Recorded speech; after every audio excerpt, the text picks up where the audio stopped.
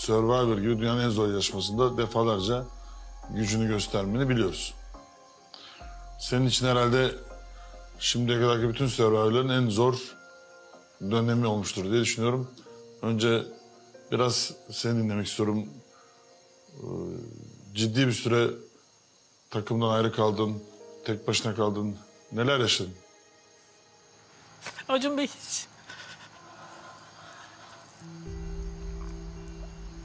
Acun Bey kusura bakmayın. Bu kadar duygulanacağımı tahmin etmedim. Çünkü uzun bir süre ayrı kaldım. Hem sizden hem bu ortamdan. Biraz psikolojim de bozuldu. Ciddi bir travma da yaşadım. Böyle olacağımı hiç tahmin etmedim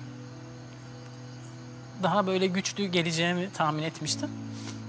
Ama bu ortam beni bir anda bambaşka bir duyguya götürdü. Kabus gibi günler geçirdim. Her saniyesi işkenceydi. Yani uyanmak istiyorum o kabus, o, bir, o rüya bitsin istiyorum ama bir türlü bitmedi. Düşünmek istemiyorum. Hayatımda çok zorluklar yaşadım. Çok ciddi sakatlıklar yaşadım. Sporculuk kariyerimde de, Survivor'da da. Ama hiç bu kadarını bu kadar derin bir şekilde hissetmedim. Çünkü yani en istediğim sezon ve en inandığım sezondu. Yani duygularımı tarif edemiyorum. Hiç bu kadar kötü olduğumu da hatırlamıyorum.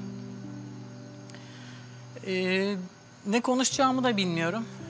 Ama o kadar çok kötü günler geçirdim ki toparlayamıyorum.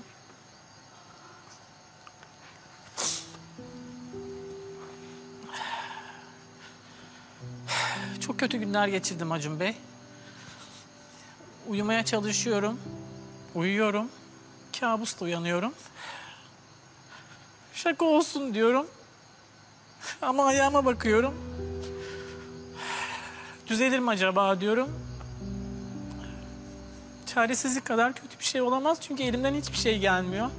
Elimizden de hiçbir şey gelmiyor. Sizin de yapacağınız bir şey yok. Savaşın tam ortasındayım ama hiç daha önce yaşamadığım bir sakatlıkla baş başayım. Korkunç bir şey. Tabii ki dünyanın sonu değil. Bunu çok iyi biliyorum.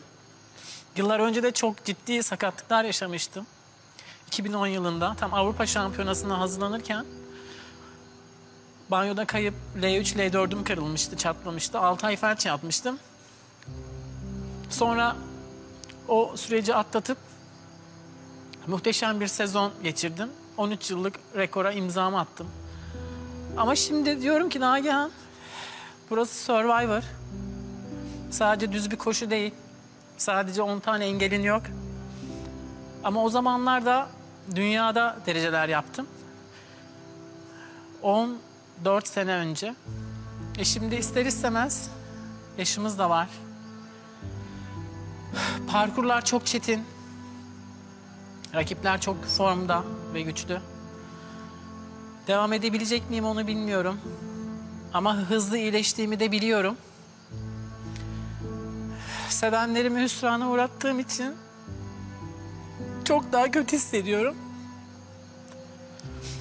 Bilmiyorum, değişik duygular içerisindeyim ama buranın da bitmesini istemiyorum.